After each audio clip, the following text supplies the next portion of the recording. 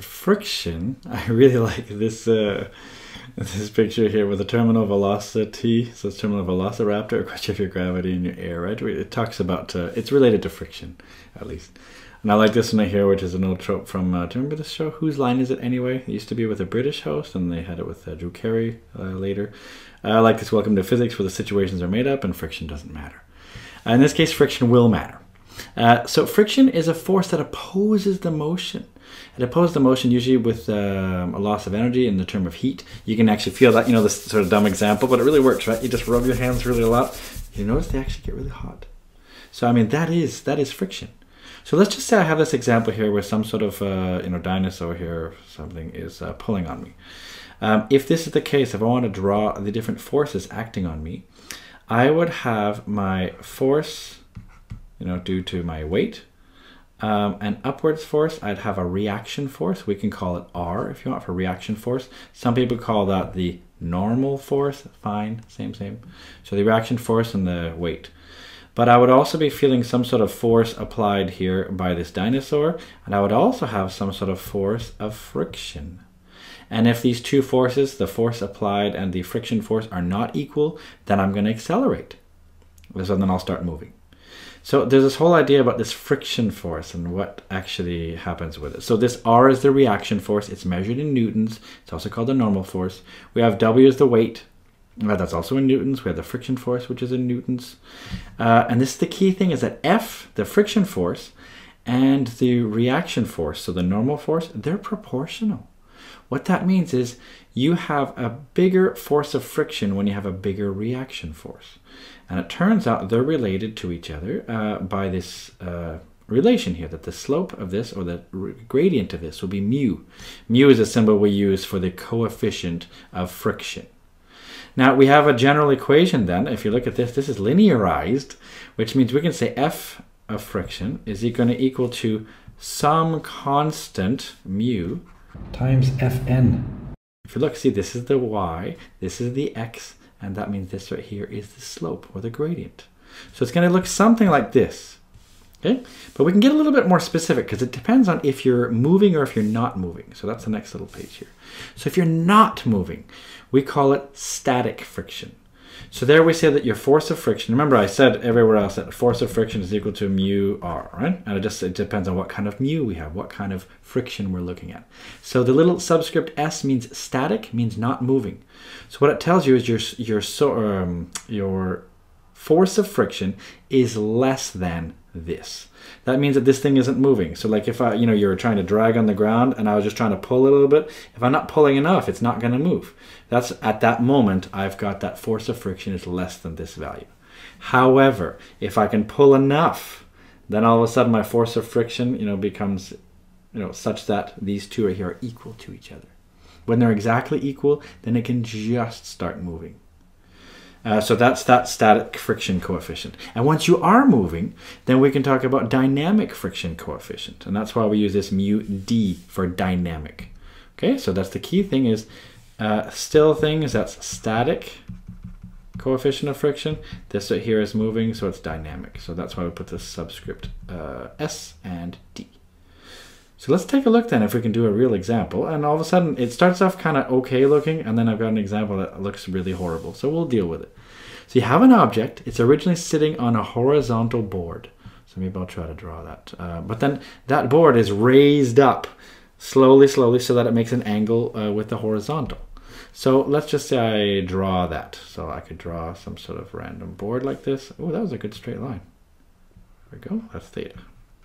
And this is my object, doesn't matter what. World's most boring example because it's an object here, right? So I keep raising it until the um, this object starts to slide. So this could be like me just sitting there and all of a sudden you just raise it to, oh, I fall down. You ever seen the old movie Titanic, for example? That happened to the people on it, sadly. Um, but I mean, this, you know, this happens with anything. It raises up, eventually it's going to start sliding.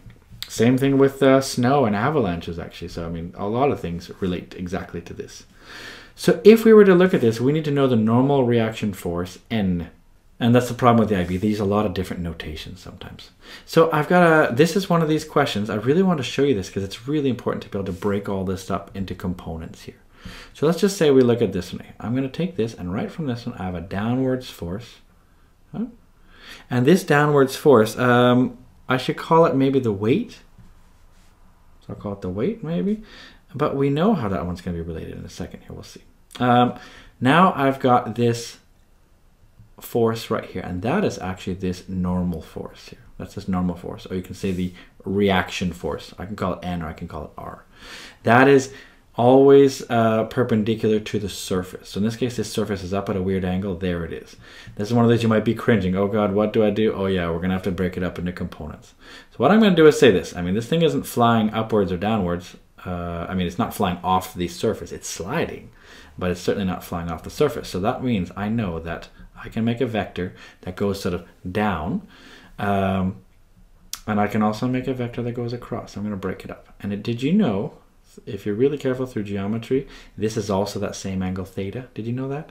This angle that you lifted up is the same as that angle that goes like that. This is one of these typical questions that a lot of people really struggle with. That's why I want to show you how to deal with it. So I've redrawn it like this now. We can also figure out a little step from what the, each of these things is, um, because we do know something about this. We know that the weight is going to be equal to something to do with uh, theta, isn't it? I mean, we know it's the mass times gravity, but the problem is we don't know exactly what to do with it, right? So here's the thing. This thing right here is going to be related to the angle. In this case right here, it's going to be, uh, and we have the mass times the force of gravity. So this is how it's going to work. The weight is always uh, mass times force of gravity. So in case, it's going to be mg. Uh, that'll be this piece down here, that straight down piece. That's mg right here. That's this force here. That's this uh, weight. So weight is mg. Okay, so that's this one right here. However, how do I figure out the rest of these ones? Like what's this piece and what's this piece? I need to figure those out. So I'm going to do those maybe in a different color. Look a little bit weird, but we can do this. So if this is mg, then uh, this one right here, if you use your right angle triangle, SOHCAHTOA, you'll see that this one right here is the sine. That's because this one here is opposite to it like this. So I always remember that. So this tells me it's a sine. This one then will be mg sine theta. This one over here then will be mg cos theta. You can take your time and try to figure it out. If you use SOHCAHTOA, you'll get that. So now here's the issue then going on. What what what am I looking for? In this case right here, I have, first of all, I want the normal reaction force. Do you notice, by the way, that this one that's going up, this normal force going sort of up and left, it's exactly counteracted by this mg cos theta here. So actually, this is really easy. My normal force is just equal to this mg cos theta, this one going down that way. It's exactly in that same plane. So I can just say it's mg cos theta. Nice, that was actually not so bad. I mean, it's drawing this is the hard part. Once you get used to these drawings, you'll see you can solve these. Find the coefficient of static friction. How do I do that? Well, I know that when I when I just just have it start to slide, then I know that my static friction force, you could say, um, is how should I say it? Yeah, I can say my force of static friction. I can call it Fs, S for static. I can say that just when it starts to move, that static friction force is going to be just counteracting um, remember, friction is always acting opposite to the motion. So if this thing right here is sliding down that way, the friction force is going to act that way. The static friction force is going to be that way. And this force right here, do you see which force that is going down that way? Do you see it's this arrow right here? It says mg sine theta. That's the one that's going down that hill. So this is the mg sine theta. And this is this Fs, this static friction force. And just when it's about to start sliding, those two forces are equal. So just at that moment, then I know that that Fs, that static friction force, is going to be exactly equal to that mg sine theta going down the hill. Right? But do you remember the equation for static friction? Static friction says that, uh, let's see, the Fs in this case would be mu s times the reaction force. So I know, so I'll say but, I know my static friction force is equal to the static coefficient of friction here times the normal force, which in this case they called it n. Fine, we'll call it n then. Uh, so good news. Do we know what n is? We sure do. Do you see this? This is actually really awesome. We actually know what n is. n is this. So we shove it into here. So that means then that we can say that, mm, maybe I'll do it in a different color now. That means I can say that fs equals mu s times n, which is mg uh, cos theta.